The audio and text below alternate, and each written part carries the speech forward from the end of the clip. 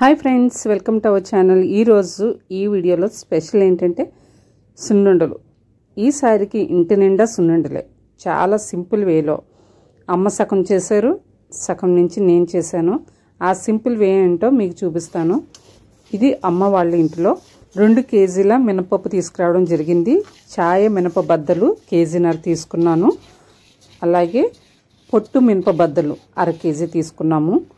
ఈ పద్ధతిలో అయితే టేస్ట్ అనేది ఆసంగా ఉంటుంది. ఇదే క్వాంటిటీతో మీరు పెంచుకోవచ్చు తగ్గించుకోవచ్చు.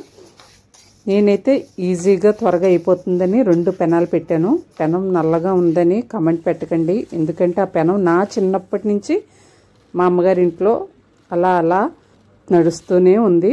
ఇంకా చెప్పాలంటే కొన్ని వేల గారెలు వండిన పెనం అన్నమాట. అందుకని కొంచెం నల్లగా ఉంది.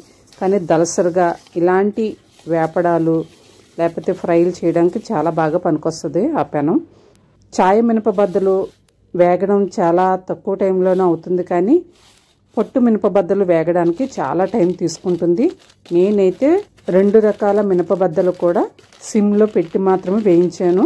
దగ్గర దగ్గర గంట టైం పట్టింది. అలా వేయించిన తర్వాత పొట్టు మినపబద్దల్ని మా అమ్మగారు అయితే ఇలాగా ఏదైనా వస్తువు తీసుకొని దాంతో మెదుపుతున్నారనమాట ఇలా మెదపడం వల్ల కొంచెం పొట్టు అనేది బద్దలకి ఓడి వస్తుంది. అప్పుడు చెరిగితే ఆ పొట్టు పోతుంది అనమాట నేనైతే వద్దన్నాను కానీ పొట్టు ఫుల్గా ఉంటే వండలు కొంచెం నల్లగా వస్తాయి. నల్లగా ఉంటే పిల్లలు తినరు అని ఇలా కొంచెం చెరిగారు.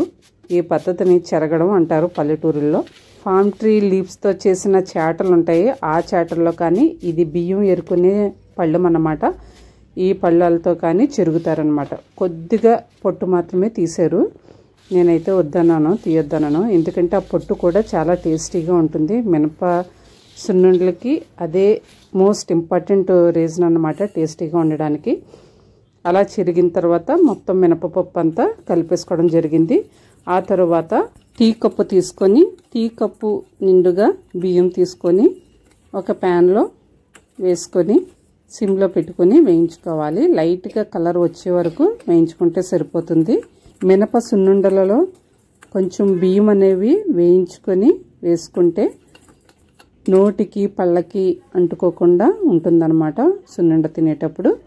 ఇలా వేయించుకున్న తర్వాత మొత్తం పదార్థాలను కలిపేసుకోవాలి. నేనైతే క్వాంటిటీ ఎక్కువ కాబట్టి రెండు కేజీల మినపప్పు కాబట్టి మిల్లుకి పంపించి పిండి ఆడించుకొని తీసుకురమ్మడం జరిగింది. అలా ఆడించుకున్న పిండి ఇది. తక్కువ క్వాంటిటీ అయితే అర కేజీ కానీ అట్లీస్ట్ ఒక కేజీ అయినా ఇంట్లోనే మనం మిక్సీ చేసేసుకోవచ్చు. మిల్లు నుంచి తీసుకురాగానే మొదటగా పళ్ళెంలోకి కానీ పెద్ద పాత్రలోకి కానీ పిండిని వేసేసుకోవాలి చల్లారనివ్వాలి. తర్వాత రెండు కేజీల బెల్లం తీసుకుంటున్నాను. ఇందులో కేజీన్నర బెల్లం మాత్రమే నేను ఉపయోగించాలని అనుకుంటున్నాను. రెండు కేజీలకి కేజీన్నర బెల్లం సరిపోతుంది. మేమైతే స్వీట్ తక్కువగానే తింటాము. స్వీట్ ఎక్కువగా ఇష్టపడేవారు రెండు కేజీలకి రెండు కేజీల బెల్లం అనేది తురిమి వేసేసుకోవాలి. ఒక అర కేజీ నేను వదిలేయడం జరిగింది. కేజీన్నర బెల్లమే తీసుకుంటున్నాను. ఇప్పుడు ఈ బెల్లాన్ని బాగా తురుముకున్న తర్వాత మినుముల పిండిలో వేసుకొని బాగా కలుపుకోవాలి. ఇలా కలుపుకొని సమయం ఉంటే ఒకరోజు ఏదైనా డబ్బాలో పెట్టుకొని మూత పెట్టేసుకొని ఉంచుకోవాలి. ఇలా అట్లీస్ట్ ఒక రోజున స్టోర్ చేసుకుంటే మంచి టేస్ట్ అనేది వస్తాయి సున్నుండలకి. ఇలా బాగా కలుపుకున్న తర్వాత నేను రెండు పాత్రల్లో వేసి మూత పెట్టుకొని ఉంచుకున్నాను. హోల్ నైట్ అంతా ఉంచేసుకున్నాను. మా చిన్నప్పుడైతే మూడేసి రోజులు ఉంచేవారు. బెల్లం కలిపి. మరుసటి రోజు మరలా పళ్ళెంలోకి వేసుకొని బాగా కలుపుకొని కొద్ది కొద్దిగా మిక్సీ జార్లో వేసుకొని మిక్సీ చేసుకోవాలి. బెల్లం బాగా సన్నగా కొరితే చాలా తక్కువ టైంలోనే మిక్సీ అయిపోతుంది. ఇలా పౌడర్ లాగా వచ్చేస్తుంది అనమాట ఇలా పౌడర్ లాగా మొత్తం పిండిని చేసుకోవాలి. మిక్సీ జార్లో కొంచెం కొంచెం వేసుకొని ఒక నిమిషం పాటు మిక్సీ చేస్తే ఫైన్ పౌడర్ లాగా అవుతుంది. ఇలా చేసుకున్న పౌడర్ని అంతా మరలా పళ్ళెంలోకి వేసుకుందాము. మినపబద్దలు వేయించగానే వెన్నపూస కూడా మరగబెట్టడం జరిగింది. మరగబెట్టి ఫిల్టర్ చేసి క్యాన్లో వేయడం జరిగింది. దానిని లైట్గా వేడి చేసుకుంటే సరిపోతుంది. ఫ్రెష్ నెయ్యి అయితే చాలా చాలా బాగుంటుంది. పాత నెయ్యి వాడకుండా అప్పటికప్పుడు వెన్నపూస మరగబెట్టుకొని సున్నుండలో వేసుకుంటే మంచి ఫ్లేవర్ అనేది వస్తుంది. నెయ్యి మరిగేటప్పుడు ఏడెనిమిది యాలకులు కూడా చితక్కొట్టి వేసుకొని మరిగించుకోవాలి. అలా మరిగించిన నెయ్యి ఇది. ఖచ్చితంగా అర కేజీ నెయ్యి అనేది పడుతుంది. ఇంకా ఎక్కువ తినేవారు వేసుకోవచ్చు కానీ ఫ్లేవర్ ఎక్కువైతే తినలేరనమాట నెయ్యి ఫ్లేవర్ ఎక్కువైతే తినలేము. అందుకని అర కేజీ నెయ్యి అయితే సరిపోతుంది. నెయ్యి వేసుకొని బాగా కలుపుకోవాలి. వండవటానికి వీలుగా ఉంటే సరిపోయేంత నెయ్యి వేసుకోవాలి. మరీ ఎక్కువైనా ఎగుటుగా ఉంటుంది.